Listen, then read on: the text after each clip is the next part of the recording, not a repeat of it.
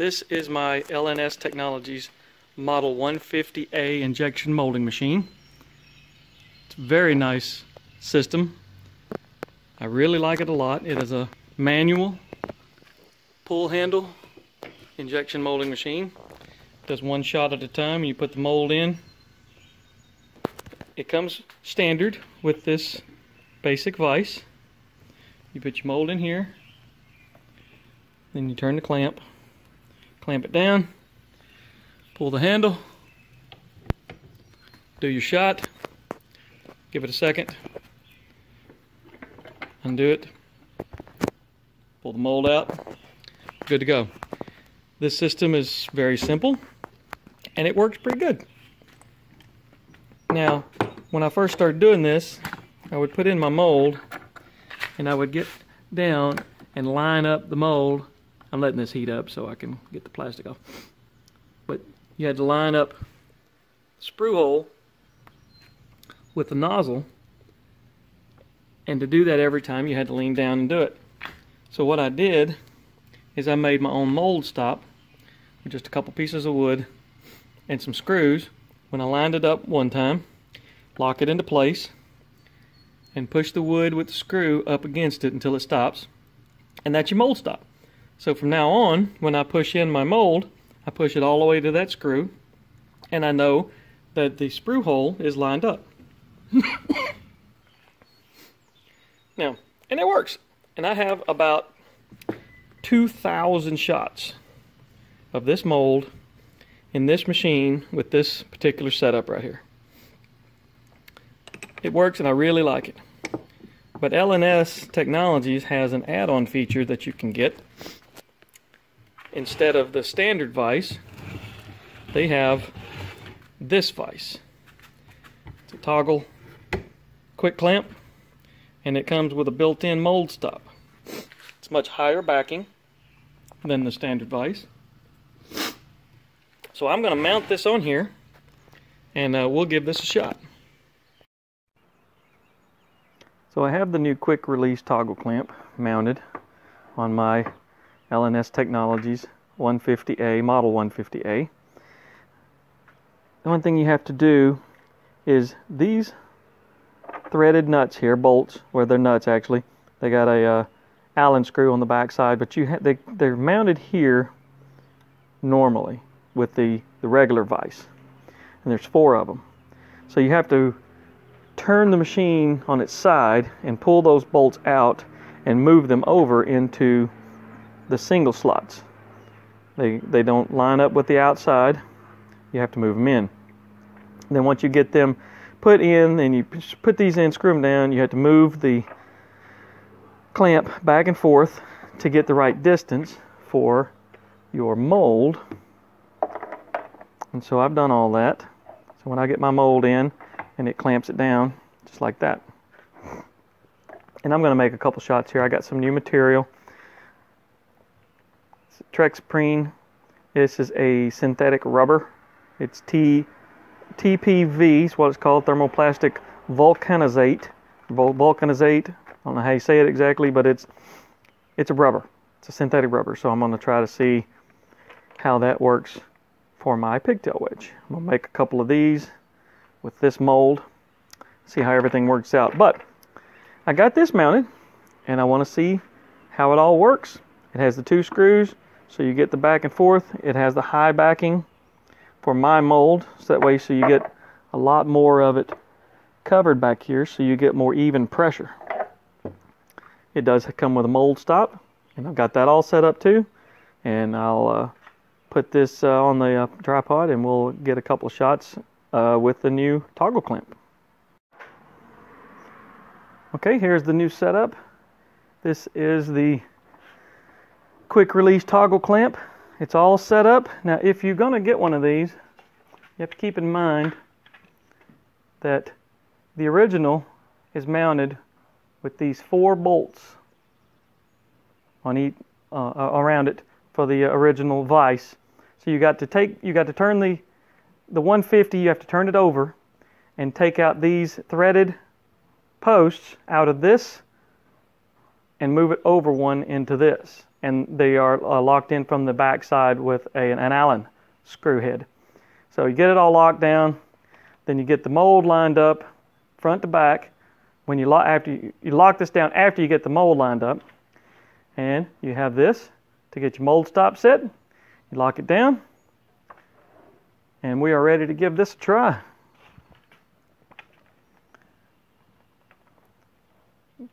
Got my mold. This is my the mold for my pigtail wedge. I highly recommend benchtop molds. I'll put a link in the description for that. He does a great job. And that makes this. This is my pigtail wedge. I did one shot just to get everything up and running. So this is good to go. With 420 degrees is what I found is best for ABS, which is the plastic that I'm using right here. Take your mold, slide it in till it stops, lock it down, pull the handle till you get some pressure. That way you know the mold is full. Give it a few seconds, and the LNS has this blinking light right here to let you know that everything's working properly. And uh, I just have found that for ABS and most of the plastics that I use for my mold, if I let that light blink seven times, which is about 14, 15 seconds, that's about all the time I need for the type of plastic that I use in my particular mold is enough to let it solidify, to let it go, and then I fill the hopper, release the mold. Now that's going to get hot after a while. Now I think I might have that too hot now because that's leaving a lot of material on the top. So we'll do a second shot real quick. Lock it down. Oh yeah, that's much faster than the, the vise. Much better. And then sometimes while it's doing that, I'll, you know, scrape off the excess my particular mold has an insert that you have to push from the back to get the insert out. Pull that up. Pull it out. I have that insert right here, so I have to push from the back. Push the insert out. Yeah, let's get warm.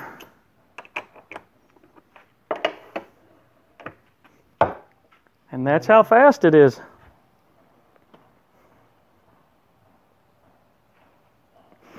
Now, I don't know if that'll shave off any time as far as uh, getting everything done, but what it does is the original vise stops about halfway up the mold, maybe a little less than half. But with this new mold, it's got a high backing, and this connection part right here hits more in the center, so I think it's going to give a more even feel around it because I've got a lot less flashing on these than I typically do when I make these.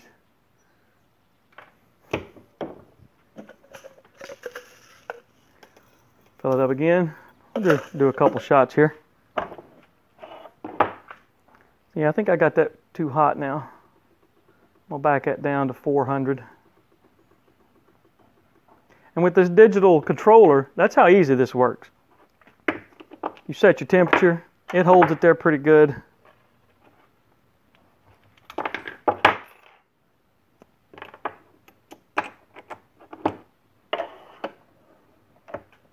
Now see that is a lot nicer because you don't have to push it in, crank it down, and because of the high backing, I'm getting a lot better results out of that.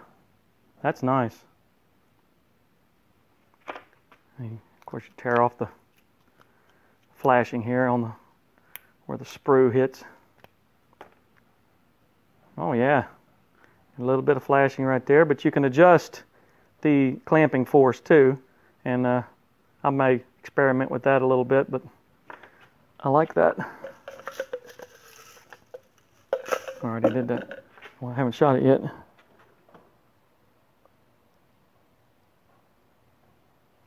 There we go. Hold it for a second.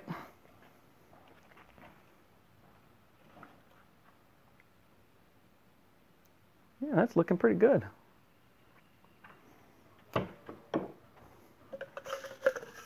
Might as well use what material I got left.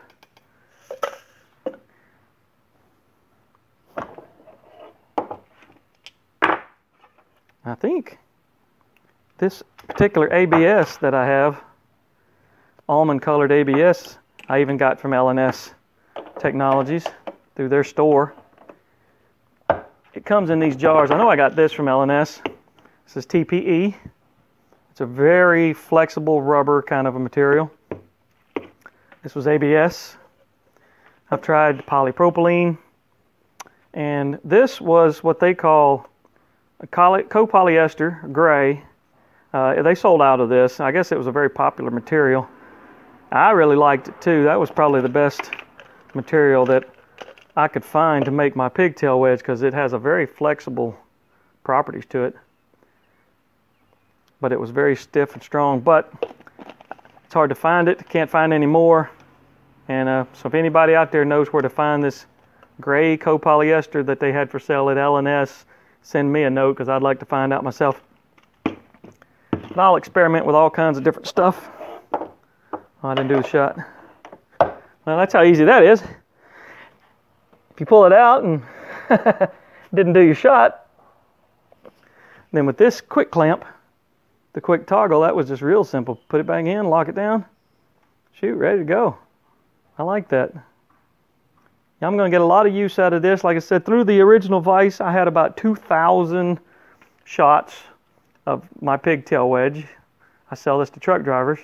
So I'm using this for a business, not just a hobby. But this would be great for hobby, for students, uh, using it in some kind of a Votech school, or wanting to learn how to do all this. This is perfect.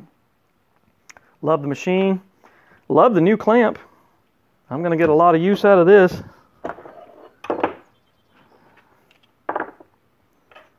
I didn't even line that up right. That wasn't all the way over to the mold stop. Now it is. I didn't fill the hopper. Now, I didn't fill the hopper, but that's okay because this particular mold that I have and this machine,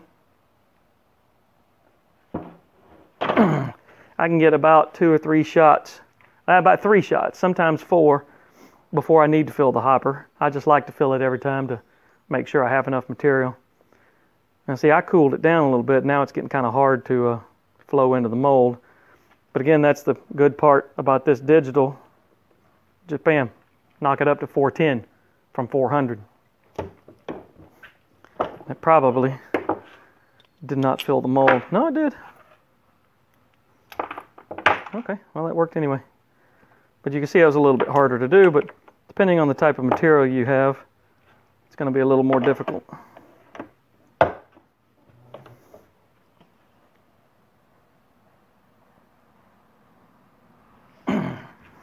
But that is the LNS Technologies quick toggle clamp vise to replace the original. I really like it and highly recommend it. I'll put some links in the notes in the description both for benchtop molds where I got my mold and for the LNS Technologies quick release toggle clamp. I really like it. Highly recommend it. Thank you.